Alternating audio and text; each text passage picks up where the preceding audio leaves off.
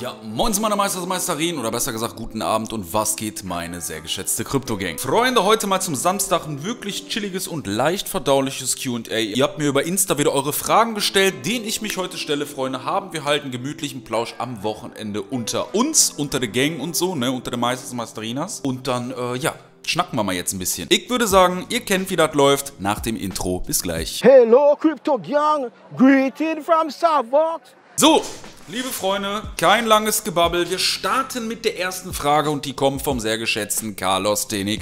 91. Was geht in dir vor, wenn du an die momentane Situation in der Weltwirtschaft denkst? Ja, Groß direkt wieder activated. Ich denke nicht unbedingt viel mehr, was von dem abweicht, was ihr euch alle denkt. Beziehungsweise sagen wir das mal so, die Sorgen, die Menschen jetzt gerade haben, die eben nicht nur bis zum nächsten Baum denken können oder keine Ahnung. Weil ihr kennt das ja selber, es gibt, es gibt überall diese, diese, ich beschreibe das immer als Scheuklappenmenschen, ja. Die leben so in ihrer nichtssagenden Bubble da irgendwie vor sich hin, glauben, alles dreht sich irgendwie um sie selbst in ihr kleinen Kosmos und kriegen eigentlich gar nicht mit, was hier für eine Scheiße um uns herum passiert. Um das auch mal wirklich ungeschönt auszudrücken auf Punkt zu bringen. Was all das, was hier passiert, bedeutet für unsere Zukunft, was seit Monaten abgeht. Ich meine, Digga, mindblowing, wo zum Teufel sind wir eigentlich gelandet? Hätte mir jemand weiß ich nicht, letztes Jahr gesagt, dass wir im heutigen Zeitalter rasend schnell an einen Punkt kommen, wo nicht nur der dritte Weltkrieg und atomare nukleare Bedrohung wirklich zu einem, zu einem denkbaren Szenario und zur Debatte steht, ja, sondern auch mitten in Deutschland, in einer bislang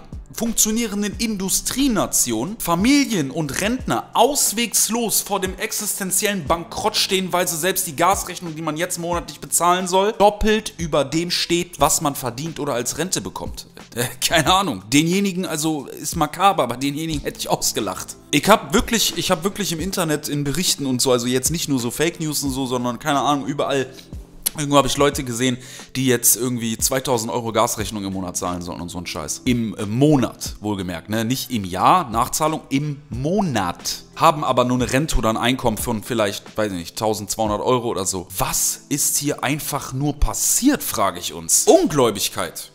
Was ich fühle, ist besser kann ich es nicht ausdrücken, Ungläubigkeiten irgendwie eine Art von Schockstarre. So würde ich es tatsächlich erklären, ja. Wir haben hier, das müsst ihr euch mal vorstellen, und ich werde wieder ganz viel Hate bekommen und äh, mit der rechts und äh, links vergiftet und was man ja nicht alles ist, wenn man die Wahrheit ausspricht. Wir haben hier in diesem Land eine, eine, eine Bundesregierung, die einen Amtseid geschworen hat, Schaden, also in erster Linie Schaden vom deutschen Volk abzuwenden wenn denn möglich, okay? Und die jetzt gegen aller Vernunft und gegen aller Logik auf Kosten der gesamten Bevölkerung und auf Kosten der Ärmsten der Ärmsten, weil da wird es meistens ausgetragen, auf den Nacken der Leute, die sowieso schon nichts haben, die das eben nicht kompensieren können, an ihrer Solidarität gegen Russland festhalten und aus Prinzip dieser sogenannten Solidarität deren Gas nicht mehr nehmen wollen. Wie bockige kleine Kinder. So kann ich es mir, also anders kann ich es jetzt nicht beschreiben, ohne wirklich auszuatmen und in den Bildschirm zu boxen, ja sei Barblatt. Nee,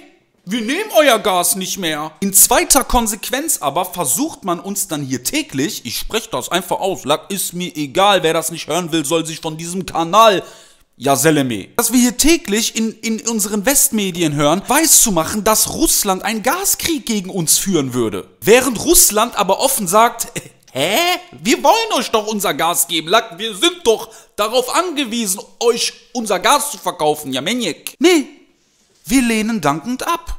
Aus Solidarität. Und unser Volk geht dafür in letzter Konsequenz vor die Hunde. Punkt. Also Wem das nicht gefällt, dass man das einfach mal so ausspricht, jalla, tschüss, sucht euch einen anderen Kanal. Herzlichen Glückwunsch. Willkommen in der Realität. Das ist der Preis. Und an dem Preis eben, ja, der viel, viel Leid und, und was nicht alles erzeugen wird, hält unsere Führungsetage da oben brachial fest. Über eine Million Abwanderer aus Deutschland und das jetzt schon zu diesem Zeitpunkt. Eine Million Unternehmer und hochqualifizierte Fachkräfte verlassen Deutschland. Tendenz natürlich massiv steigend. Wir fahren uns vor die Wand gnadenlos. Und ich bin ehrlich gesagt der Meinung, der Stein ist jetzt am Rollen und den hältst du dann auch so, äh, den, sorry, den hältst du dann auch so schnell nicht mehr auf. Und ja, das macht mir zugegebenermaßen Angst. Also ich meine, weil auch keine Ahnung. Auch wenn ich unter der CDU-Regierung nicht immer mit allem einverstanden war und wir Menschen sind ja so gepolt, dass egal wie gut es uns geht, wir finden immer irgendwas zu meckern. Vor allem bei den Entscheidungsträgern. Man geht dann auf den Entscheidungsträger und sagt, ja, aber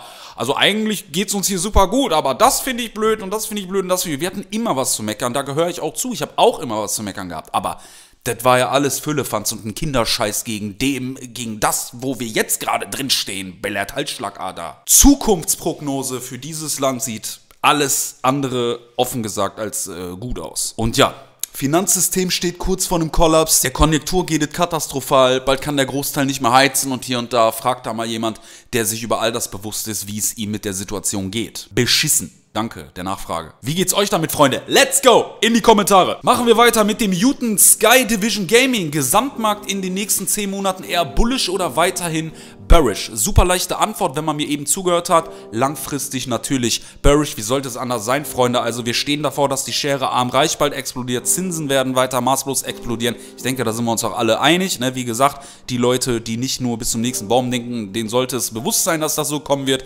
Wir sehen temporär steigende Abschnitte im Markt. Ja, aber langfristig kannst du dir auf Grundlage des allen hier, dieser Makroökonomie, dieser Konjunktur, dieser Krise, in der wir einfach drin sind, Rezession und so weiter, was wir eben beschrieben haben, und das war ja nur wirklich die Spitze des Eisbergs, ja, also da kannst du dir keinen Bullmarkt aufbauen, der wirklich signifikant nachhaltig aussehen wird. Also meine Tendenz, bearish. Der liebe Tarik AKNC, ich hätte jetzt fast Akne gesagt. Hoffe, es geht dir gut. Wie würde ein 2000 Euro Portfolio bei dir aussehen?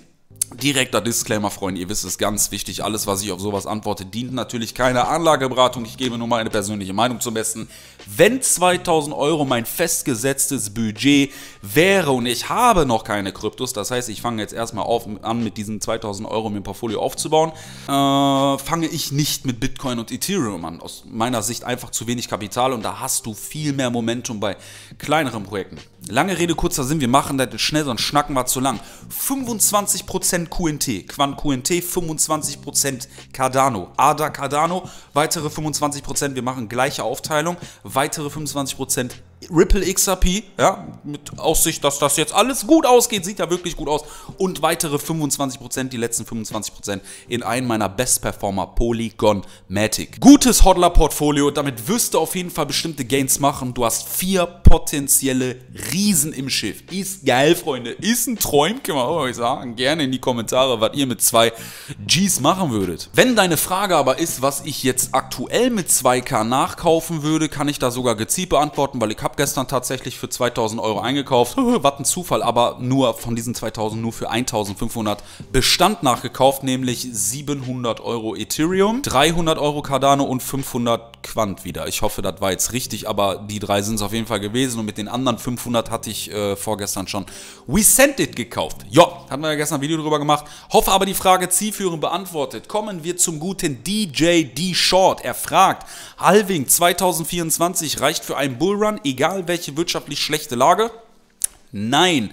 Ich würde jetzt nicht sagen, egal welche Lage. Also es gibt sicher schon Szenarien, die, äh, nach denen du alles in eine Tonne kloppen kannst. Also stell dir jetzt einfach nur mal ein Szenario vor, der dritte Weltkrieg bricht tatsächlich aus, will nichts beschwören, nichts manifestieren, aber stell es dir einfach nur mal vor. Nuklearwaffen werden eingesetzt etc. Infolgedessen crasht das gesamte Weltfinanzsystem. Dritter Weltkrieg würde auch einen Cyberkrieg bedeuten, also flächendeckende Blackouts etc. in ganzen Ländern. Vermutlich, weil wir immer so ein Glück haben, wäre Deutschland mit betroffen. Da hast du auch nichts mehr von Bitcoin und Krypto. Ne, da macht dann auch ein Halving nichts mehr. Wenn so ein Worst-Case-Szenario aber nicht eintreten sollte, wird das Halving natürlich einen immensen Impact auf die weitere Entwicklung des Kryptomarktes haben. Dann werden wir mit Sicherheit einen und das betone ich, massiven Bullrun sehen. Ja, aktuell bin ich sogar der Meinung, äh, also jetzt mit Rücksicht auf die makroökonomische Lage, haben wir jetzt öfter angesprochen, dass wir vorher sowieso keinen Bullrun sehen werden. Also ich peile tatsächlich den nächsten erst für Zeitraum 2024 an. Nächste Frage nehme ich mit rein, weil sie am öftesten aktuell gefragt wird über Insta und auch hier auf YouTube. Zwei pick ich repräsentativ raus welchen Leuten ich denn so auf Bing X als Copy Trader folge. Da seid ihr ganz heiß drauf, dazu erfahren und heute sage ich es euch tatsächlich. Also, Freunde, zum einen möchte ich ähm, euch als erstes mal sagen, wem ich nicht mehr folge, weil das vielleicht auch für den einen oder anderen interessant ist, da mal so ein paar Warnungen rauszuhauen. Ganz am Anfang bin ich nämlich äh, Yisu und der lieben Jenny gefolgt, weil die warum auch immer super Performance-Statistiken haben, okay? Warum auch immer, habe ich jetzt gesagt. Also es impliziert ja schon, dass ich nicht verstehe, warum das so ist. Ehrlich gesagt haben die mir beide auf, auf einen Timeframe von drei Wochen nichts außer Verluste eingebracht. Richtige Mongos, Alter, ohne Scheiß. Vor allem diese, diese, diese Yisu hier, ne, die ist ganz schlimm. Ich trade ja aktuell auch selber und befasse mich ein bisschen mit der Thematik. Und vor allem in Zeiten, wo alle Indikatoren eigentlich klare Schlüsse gegeben haben, wohin der Markt tendiert. MACD passt, RSI, also relative Stärkeindex beispielsweise unter 25, manchmal sogar meinetwegen, ist ein Indikator für kurzfristig jedes jetzt wieder hoch. 10er, 50er, 150er EMA stimmen auch auf Daytrade Bullish. 5 Minuten Timeframe in der Regel, ja. Jeder geht long. Jeder. Ausnahmslos jeder. Ich, die anderen Trader, sogar meine Oma, die tot ist, die wollte long gehen. Aber nein! Jesu ist ja was Besonderes. Jesu entscheidet sich, einen 4000 Dollar Volumentrade auf Short zu eröffnen und der geht in nicht mal zwei Stunden in die Zwangsliquidierung. Und das ist nicht nur einmal passiert, okay? Also Jesu, ne? falls du das hier hörst und der deutschen Sprache mächtig bist, Lack, ja Menig, was machst du da? Geh weg von dieser Plattform, du Gelb. Also echt keine Ahnung, ob die alten Bot ist oder einfach, einfach zu dumm zum Kacken ist. Jedenfalls habe ich keine Ahnung, was die da tut. Ist mir nicht ganz schlüssig. Lasst auf jeden Fall die Finger von der. Jenny sind wir jetzt drauf, war jetzt nicht ganz so dramatisch wie diese Yisu, aber auch meistens Verluste. Aktuell folge ich nur noch äh, zwei. Da sind die Ergebnisse bislang annehmbar. Das wären einmal der liebe Baldrich, sind wir jetzt hier drauf, und einmal der liebe Danny One. Der letztere hier, der hatte in der Vergangenheit wohl auch mal ein bis zwei Aussetzer im zentralen Nervensystem, hat sich aber mittlerweile wieder gefangen und schreibt ganz gute Gewinne. Ihr könnt euch ja gerne mal in den Kommentaren austauschen, Freunde, wem ihr so folgt und wen ihr empfehlen würdet. Vielleicht nehme ich mir da noch so ein paar tricky Trader mit rein. Machen wir weiter mit dem Juten Haidians oder wie auch immer man deinen Namen ausspricht. Welche Trading-Strategie versuchst du als nächstes? Was war bisher die wichtigste Erkenntnis? Ähm, die wichtigste Erkenntnis war bislang definitiv, wie letztens in dem Video hier, wo sich jetzt das i öffnet, erklärt, dass zu hoher Hebel und dadurch kommende große Gewinne auf ganz kurze Zeit super gierig machen. Und das passiert tatsächlich auch noch bei Leuten, weil es wollen sich ja immer so viele davon freisprechen, die seit 2017 mit der Materie vertraut sind und sich damit befassen. Weil ich weiß, dass sich, habe ich ja selber in der letzten Zeit erlebt, dass sich jeder von außen dann immer dahinstellt und immer, ja, also wie kann man nur so dumm sein und mir würde sowas ja nicht passieren und geben dann immer so krasse Tipps und so, als wären sie persönlich die Trading-Götter, gucken sich aber Krypto-YouTube-Videos an und fragen nach Low-Caps und so. Aber ja, niemand ist sicher vor Gier. Das musste ich selber schmerzhaft merken. Menschlicher Charakterzug, Freunde, besitzt jeder von uns, ist jeder anfällig für.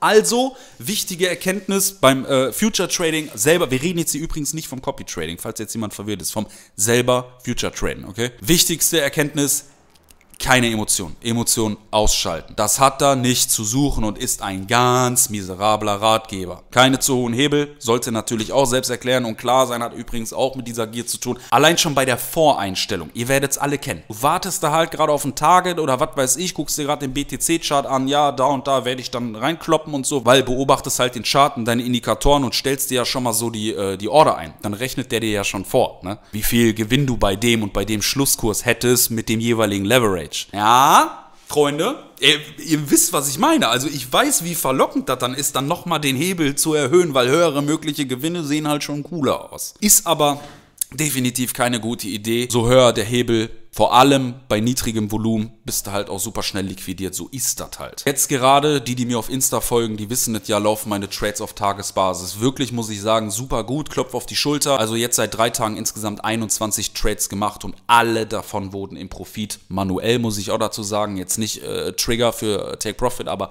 manuell im Profit geschlossen. Ihr wisst es ja, ich bin ja transparent damit und äh, verfolgt das ja auf Instagram. Mal schauen, ob das so weitergeht, liebe Freunde. Ich halte euch natürlich bei Insta auf dem Laufenden. Dementsprechend folgt mir auf Insta, folgt mir auch auf Twitter und abonniert euch in den YouTube-Kanal. Aber die Links für Twitter und Insta findet ihr in der Videobeschreibung. Ja, kurzes Update zum Video von gestern, Freunde, ist jetzt einmal auch hier oben verlinkt. Der Private Sale, der ist tatsächlich schon vorbei. Die, die nicht wissen, was ich jetzt gerade rede, also wir haben gestern ein Video gemacht, wo wir eine ICO im Private Sale vorgestellt haben. Projekt seht ihr jetzt hier heißt We Sent It und äh, ja, die Hardcap war dann jetzt tatsächlich, ich bin selber noch ein bisschen schockt, über Nacht sofort erreichen. Somit ist der Private Sale tatsächlich auch schon wieder vorbei, okay? Heißt, die nächste Runde, die startet dann erst im Presale. Ich halte euch aber auf jeden Fall auf dem Laufen und wir machen dann nochmal ein Update-Video, weil ich muss jetzt selbst irgendwie erstmal in Erfahrung bringen, wie der Presale ablaufen wird. Ich habe jetzt auch nicht damit gerechnet, dass das so schnell passiert. Ob die das auch über die Webseite machen oder über einen Launch-Provider, ich habe doch keine Ahnung, Freunde. Ich sag euch aber auf jeden Fall Bescheid. Glückwunsch zumindest an der Stelle schon mal an jeden, der gestern den Private Sale Preis von 0,017 Cent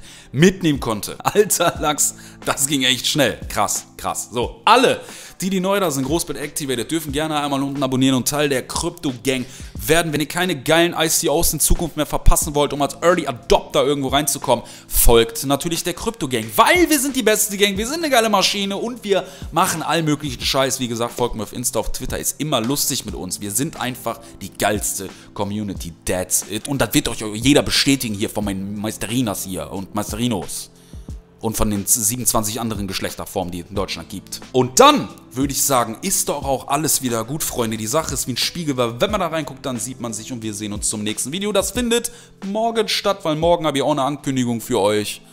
Und äh, ja, bis dahin, ich wünsche euch einen wunderschönen Samstag. Morgen ist Sonntag, da sehen wir uns, wird auch wieder entspannt. Macht was mit den Informationen, reingehauen.